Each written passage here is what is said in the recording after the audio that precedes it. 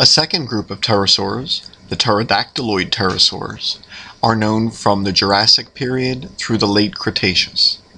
They possessed a short tail and a longer neck, a longer, larger skull, and they were larger in general.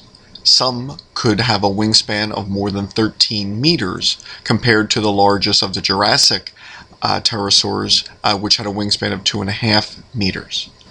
As such, they probably would have depended on air currents to soar uh, along coasts as they hunted for fish, uh, rather than the more primitive lifestyle of flying by a flapping flight uh, in areas where there was more vegetation.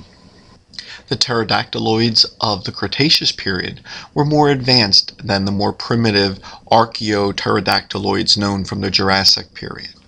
Although pterodactyloid fossils are known through the end of the Cretaceous period, the end of the Mesozoic era, they were becoming more scarce by the end, and it is possible that they did not uh, end their lineage in a mass extinction like many of the dinosaurs did, but rather they're slowly dwindled towards the end of the Cretaceous.